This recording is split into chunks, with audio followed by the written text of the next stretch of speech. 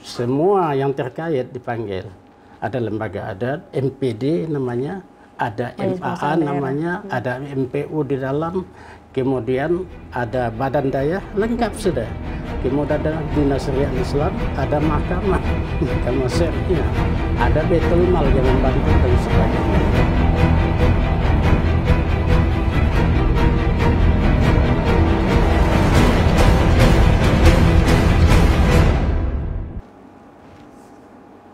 Assalamualaikum warahmatullahi wabarakatuh. Rekan PTM, merumpul luntuan Indah Rastika Sari.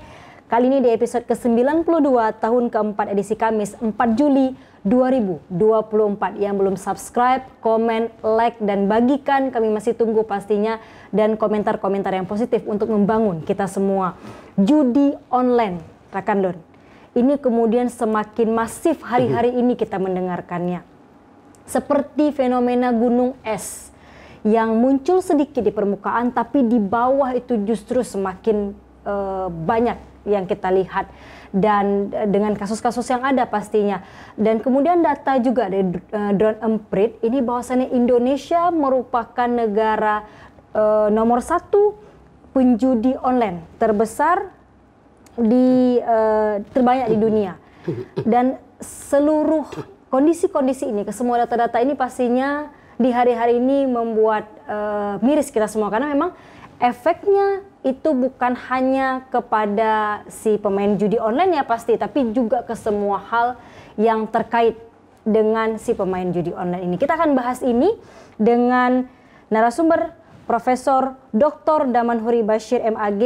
Beliau merupakan ketua Majelis Permusyawaratan Ulama MPU Kota Banda Aceh. Assalamualaikum, Tengku. Waalaikumsalam warahmatullahi wabarakatuh. Terima kasih banyak, Tengku, sudah meluangkan waktu hadir di PHTM. Ya, Alhamdulillah.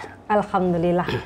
Uh, tema kita peran MPU Kota Banda Aceh dalam pemberantasan judi online. Jadi memberantas ini memang bukan hanya tugas MPU pastinya, tapi semua kita, ya. bahkan dari uh, masyarakat juga semua pihak harusnya ikut andil karena belakangan kan Tengku hari-hari ini ini semakin miris kalau kita lihat uh, kasus-kasusnya bahkan juga anak-anak juga ikut terlibat menjadi bagian uh, pecandu. Kalau kita bilang apa apa bahasa mungkin tepatnya, mereka juga bermain ya, itu gitu. Betul. Dan data-data uh, yang kita lihat juga semakin miris Tengku. Tapi kita pengen tahu dulu uh, Kenapa bisa terjadi seperti itu? Apalagi kan di, di Aceh juga kita lihat bukan sedikit, Tengku. Yeah. Bukan sedikit juga kemudian kita kalau ke warung kopi hmm. nah, atau juga mungkin kita melihat inilah di sekitar kita. Tengku yeah. ini faktornya apa yang apa yang terjadi di masyarakat kita akhir-akhir ini, Tengku? Baik, terima kasih. Izinkan saya menyampaikan dengan singkat bahwa faktor itu cukup banyak dan ada di hati manusia, di jiwa manusia juga disokong oleh lingkungan. Yang kali ini kita melihat dua bahagian itu. Yang pertama adalah meningkatnya perangkat akses internet dengan mudah dijangkau di kamar mandi pun bisa, di tempat tidur pun bisa, sambil golek-golek pun bisa. Tidak membutuhkan tempat yang spesial, tidak membutuhkan peralatan pembantu dan sebagainya, cukup masukkan paket dan siap dipanggil apa yang mau. Kemudahan-kemudahan itu adalah sebuah jalan untuk berkembangnya judi online ini. Yang kedua adalah pengembangan situs-situs yang dibuat sesuai dengan perkembangan ilmu saat ini yang dibuat sampai begitu menarik gitu. Hari ini lain modelnya, besok lain, ditambah lagi berbagai macam apanya hiasan-hiasan maaf kata ada yang tidak boleh dilihat ditambah di situ. Akhirnya tambah tertarik. Itu faktor satu. Faktor yang kedua adalah faktor ekonomi. Ini juga menjadi perhatian kita. Semua ingin mendapatkan dana. Bila mungkin dana itu didapatkan dengan mudah. Nah tadi dengan teknologi tadi dia menampilkan itu. Akan mudah akan mendapatkan ini akan mendapatkan itu dengan sedikit waktu Anda tidak usah bekerja dan sebagainya. Tidak perlu terlalu capek tidak terlalu kerja, capek. tapi kita bisa mendapatkan uang begitu ya. Yang kacau lagi didukung oleh krisis di lapangan. krisis di lapangan cukup banyak anak muda tidak punya pekerjaan, maka dijanjikan itu, maka dengan mudah dia masuk ke dalam. Yang ketiga, ada faktor sosial budaya. Sosial budaya kita lepas saat ini. Kalau zaman dulu itu anak saya, anak tetangga, anak tetangga itu banyak ayah lain yang membelanya. Itu mulai hilang ini. Jadi sehingga kamu-kamu, saya-saya, kalian-kalian dan sebagainya. Nah kemudian ada lagi kebiasaan, ya kebiasaan ini jiwa kita ini ingin hiburan, tapi itu nggak ter, nggak terbantu, tidak terbantu. Kalau saya lihat di Banda Aceh tidak terbantu. Jadi perlu dikembangkan musik-musik, perlu dikembangkan berbagai hal yang sifatnya melalaikan anak di situ dan sampai dia jiwanya tertarik dengan kelompok itu.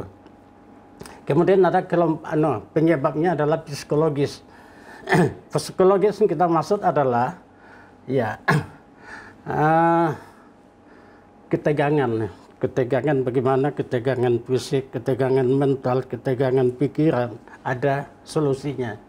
Itu perlu dipikirkan oleh ibu-ibu dan ayah-ayah dan pemerintah juga memikirkannya itu. Itu makanya Banda Aceh itu ada namanya kota layak anak. Artinya ketegangan seperti apa? Ya, spesifiknya? Dia masalah di rumah tangga tidak selesai. Okay. Contohnya rumah tangga yang broken, broken home. Broken okay. home. Anak dikemanakan? Artinya dia melampiaskan kemudian ke judi online seperti ya, itu. Salah satunya untuk mencari hiburan yang paling mudah, yang paling dekat dan paling gampang di diperoleh ya itu tadi internet tadi. Mm-hmm. Nah dan apalagi ada janjian-janjian. Kemudian ada janjian keuntungan ya. Mm. Kemudian ada lagi judi online ya ya yang sifatnya adalah sekali dapat kita katakanlah dapat satu juta, dijanjikan Anda bisa mendapatkan seratus juta. Kayak lagu Roma Irama, ya. bohong. Ah, ah, bohong. Judi, bohong, bohong. Tetapi itu sudah ditawarkan dan tidak bisa dielakkan. Uh -uh. Kemudian ada lagi regulasi yang perlu regulasi. Ditambah. Regulasi. Nah, ini regulasi. Yang, yang harusnya pemerintah pikirkan ya. untuk bagaimana bisa eh. menstop ataupun seperti apa? Ya, regulasi yang kita maksud itu, itulah nanti penghalang, penghambat bisa me, apa, menyempitkan jalannya itu. Nah kita ini punya alat itu adalah melalui lembaga adat. Hmm. Lembaga adat kampung itu dihidupkan di sini. Anak-anak yang keluar malam ditanya melalui ada namanya resam kampung. Resam kampung. Resam kampung. Nah kemudian yang keenam adalah strategi pemasaran yang dilakukan oleh pelaku judi online. Hmm. Itu habis-habisan.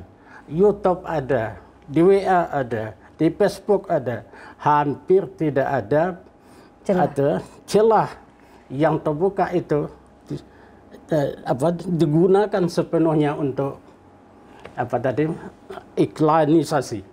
Iklan judi online. Di situ persoalannya. Hmm. jadi kalau mungkin regulasi tadi dikatakan dan kalau mungkin jangan sampai dimanfaatkan.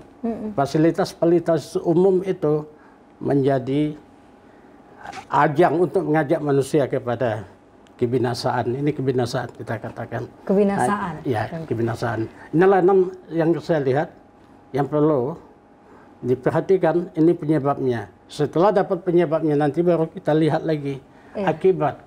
Betul. Akibat yang dilakukan. Akibat yang terjadi kemudian iya. ketika ya. kita lakukan hal tersebut. Ya. Eh, kita kita jadi online dan kita kan tahu Tengku. Ya. Uh, masyarakat kita kan saya kayak tadi jadi contoh uh, Tengku hmm. sampaikan. Uh, biasanya ini dapat uang uh, contohnya 100 hmm. juta. Oh ini kemudian ini bisa jadi ke depan akan lebih uangnya. Ya, ya. Tapi kan dia tahu ini kan hmm. uh, bisa jadinya bisa jadi tidak. Ya. Dia kan tahu bahayanya. Terus ya. kemudian lalai waktu apalagi kemudian hmm. dan sebagainya. Ya dan uh, kita cukup kuat dengan itu kan Tengku kita cukup kuat dengan uh, nilai sosial budaya seharusnya. Betul, ini kan betul, ini harusnya kan bisa bisa bisa balance atau bahkan ini bisa menghancurkan nah, itu. kalau kita lihat hmm. kita punya kekhususan les spesialis hmm. kita punya resam gampung. Cuman apa apa yang terjadi hari-hari ini Tengku? Nah, apa ini, kemudian? ini kita lihat dulu. Anak-anak ini yang masuk apalagi udah sampai ke tingkat kecanduan dia tidak memahami ini ada tiga ancaman keuangan di dalamnya. Satu kehilangan uang, dia nggak taksir. Yang tahu dia membayangkan untung akan dapat.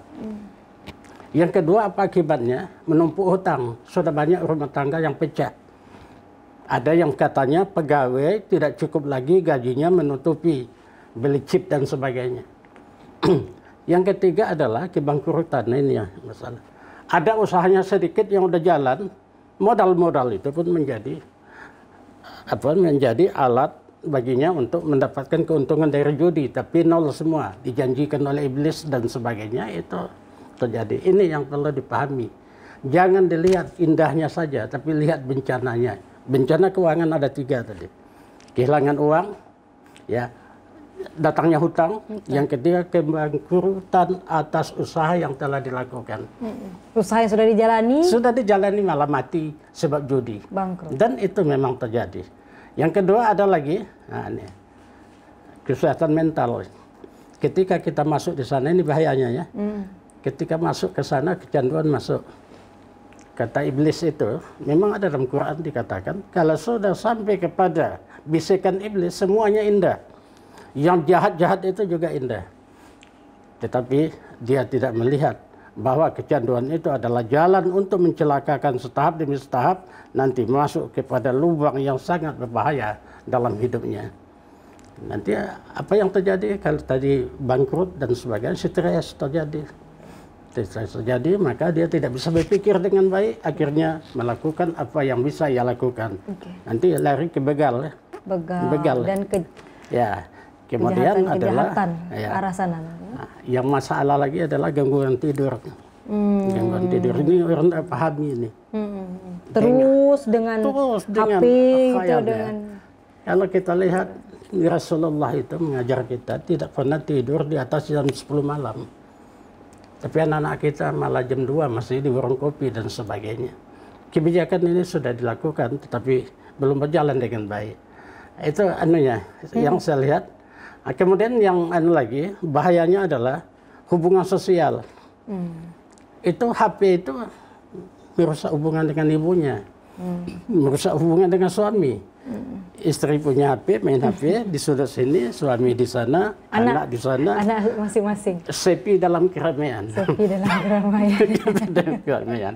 Nah inilah nanti yang dekat kita tapi terasa jauh. Ya, ujungnya apa? Terjadi isolasi sosial. Hmm. Kalau isolasi sosial sudah terjadi itu adalah tahap untuk jatuhnya manusia kepada tadi yang kita sebut bencana, jatuhnya kebinasaan, tidak mm perlu lagi. Jadi ada istilah mengatakan bahwa salah satu tanda gilanya zaman hari ini adalah mm -mm.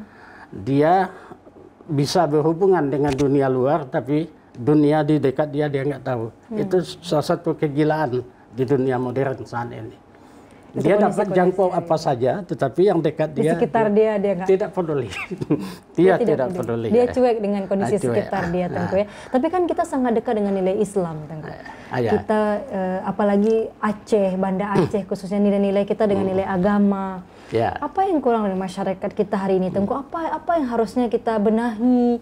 Hmm. MPU mungkin yang dilakukan MPU apa apa apa poin-poin? Baik, kita ini? sudah menjurus kepada tugas MPU. Situ tadi ada tujuh, tapi nggak saya kemukakan semua. Hmm. Kemudian kita lihat tugas MPU ini ada lima yang perlu diperhatikan dan ini sudah dilakukan. Yang pertama adalah pendidikan dan penyuluhan. Jadi lembaga kita ini yang mulia ini masuk di sini.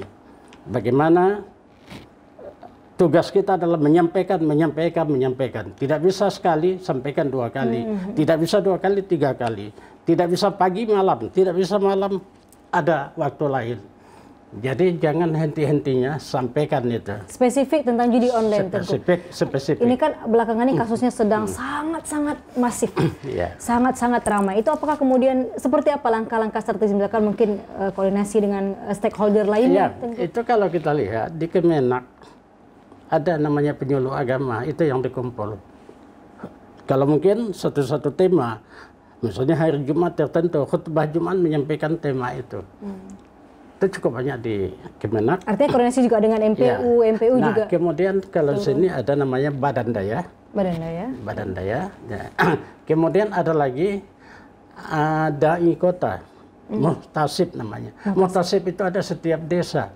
Di Banda Aceh ini ada 90 desa. Setiap kampung itu ada muhtasib. Tugasnya adalah pengawasan syariat Islam. Itu diberdayakan. Bagaimana itu di ya diperkuat, disatukan dan kasih materi sebaik-baiknya. Tapi saya yakin itu sudah semua. Takut-takut muhtasibnya yang tidak tidak punya basic. Jadi ini gimana cerita maksudnya? Just, jadi Iya. mutasibnya nggak punya basic. Hmm. Ya, ya, ya kalau mungkin di dalam ilmu itu, ilmu itu dituntut, setelah itu diamalkan, Amalkan. setelah diamalkan baru disampaikan. Diamalkan belum ke mana disampaikan. Banyak ilmu kita sampaikan melalui penataran, seminar dan sebagainya, dapat ilmu, tapi dia tidak mengamalkan. Dia coba menyampaikan, akan sulit. Akan Beda sulit. menyampaikan dan mengamalkan. Oh beda, Oke, ya? beda sekali. Oke. Jadi bahasa kami, ya bahasa saya di Fakultas Usuluddin, ilmu itu dapat bagaikan makanan kita kunyah, kunyah sehalus-halusnya, baru ditelan. Setelah ditelan mendarah daging, baru dikeluarkan balik untuk disampaikan. Artinya yang perlu diperkuat justru Hmm. pemerintahnya dengan dengan lembaga-lembaga terkait itu. Semua, semua kalau tadi kan Kalau tadi yang Tengku katakan tadi individu, ya? individu bekerja situ, yang Oke. kedua Semua rumah, tangga, rumah tangga, Iya. yang ketiga nanti sekolah, yang ketiga lingkungan dilaksanakan kebijakan itu oleh pemerintah.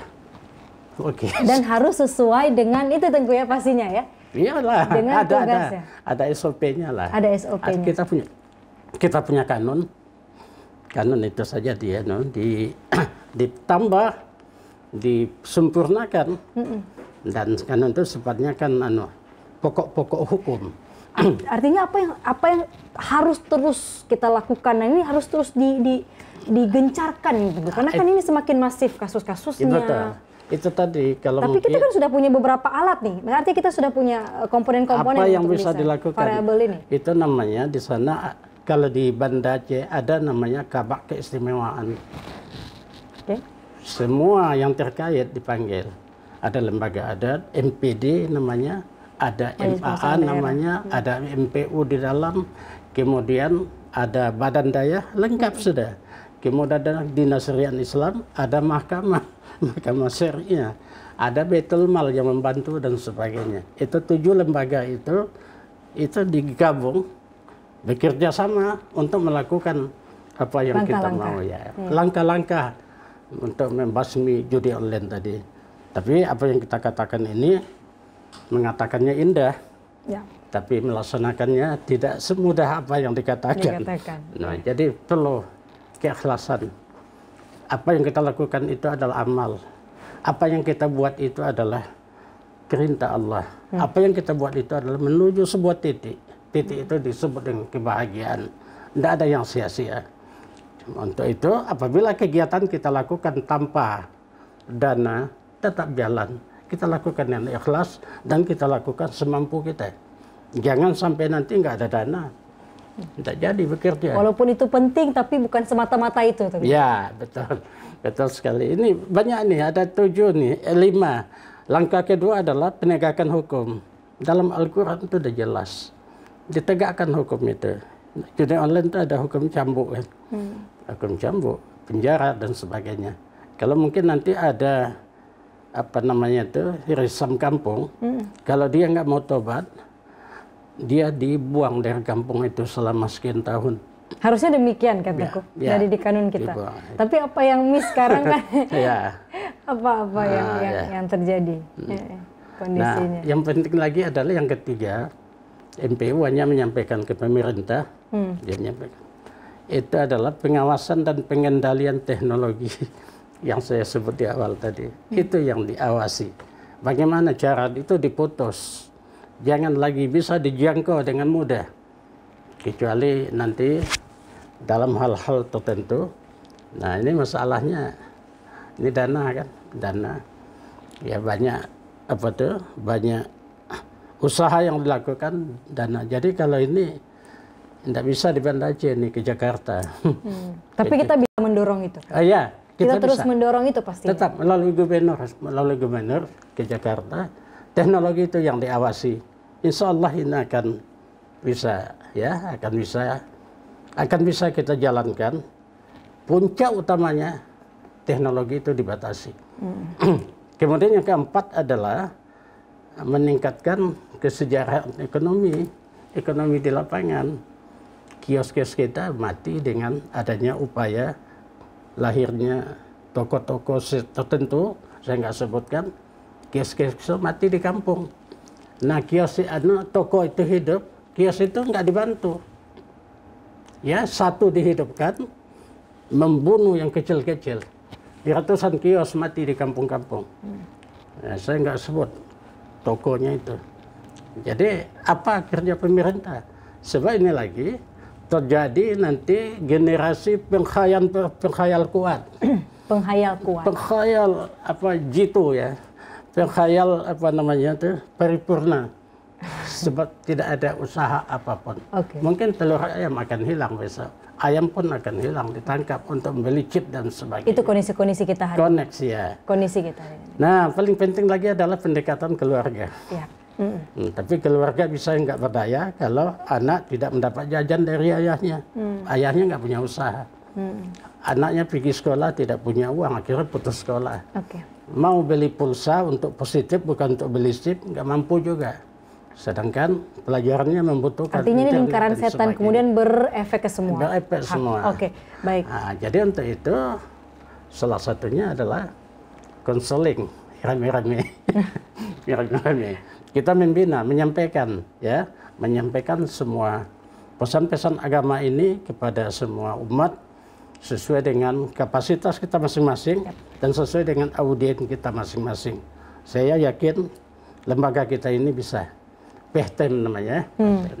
Bisa Hari ini itu. kita menyuarakan dengan eh, kita menyuarakan, menyuarakan dulu kalau mungkin tadi dengan masing-masing. Kita lanjutkan nanti. Masing-masing gitu ya. Nanti kita lanjutkan dengan mengumpul itu mantan-mantan pejudi ulung, pejudi online ulung dikumpul balik, dia akan menjadi anu nanti akan menjadi penyuluh, menjadi pimpinan di komunitasnya. Seluruh pihak, Tengku ya? Seluruh Dari pihak. MPU Kota Banda Aceh, Pemkot, pemerintah Kota ya, Banda, semua, semua, semua pihak. Dan media pastinya akan ya. terus menyuarakan supaya memberantas ya. judi online ini. Ada jelas dong enam tugas MPU yang okay. perlu di. Kalau kita omongin nggak akan habis. Tidak akan memang... bisa habis. Saya mengatakan supaya cepat dunia ini selesai, lakukan apa yang bisa anda lakukan sesuai dengan ah, ya. Al-Quran dan Sunnah ya. itu yang sudah Sesuai. jelas Allah sudah nah, minimal itu saya punya anak maka anak saya saya usahakan jangan sampai kena judi online oke okay. nanti okay. dari rumah tangga menjadi kampung dari kampung pelan-pelan ya kecamatan kecamatan menjadi kabupaten kabupaten menjadi provinsi Nah, Oke, okay. itu yang bisa. Terima kasih banyak. Terima kasih banyak Tengku untuk waktunya, arahannya ya, pastinya juga yang Tengku sampaikan. Selaku hmm. Ketua MP Kota Banda Aceh, ya. apa himbauan Tengku untuk masyarakat ya. pastinya yang bisa dilakukan hal-hal terkecil lah. Ya, yang pertama setelah tahu judi online itu bahaya, kita tahu itu dilarang oleh agama. Kalau belum masuk, jangan masuk. Jangan memulai. Jangan coba-coba. Nah, kemudian katakan bahwa apa yang kita lakukan itu diharapkan oleh Allah yang memfasilitasinya, toko-toko misalnya, mendapat ancaman kutukan Allah. Kemudian yang hasil dihasilkan dari judi itu juga tidak halal untuk dimakan dan ujung-ujungnya nanti membahayakan kepada tindakan fisik, kemudian kepada ucapan, kemudian kepada tindakan sebab itu adalah datang dari iblis. Dan kata Allah jangan didekati. Dan dalam agama dikatakan itu adalah dosa besar yang tidak bisa didekati oleh umat Islam. Ini himbauan saya dosa besar. Dosa yang jangan, besar. Yang bahkan jangan mendekati. Jangan didekati. Bahkan jangan didekati. Ya. Terima kasih banyak, Terima Tengku. Terima kasih banyak untuk waktunya. Insya Allah nanti kita berbincang kembali yes. di waktu yang akan datang. Iya. Insya Allah, Tengku. Terima kasih banyak. Ketua Majelis Permusyawaratan Ulama MPU Kota Banda Aceh, Tengku Profesor Dr. Daman Huri Bashir MAG. Terima kasih banyak juga untuk Anda pemirsa PTM. Kami masih menunggu rekan PTM. Subscribe Anda, komentar-komentar yang positif dan juga bagikan untuk bisa membangun khususnya juga dengan tema kita tadi kita bisa pelan-pelan bisa memberantas judi online dengan uh, apa yang bisa kita lakukan dari diri kita masing-masing. Terima kasih banyak. Saya Indah Rastikasari pamit. Wassalamualaikum warahmatullahi wabarakatuh. Insya Allah sampai jumpa.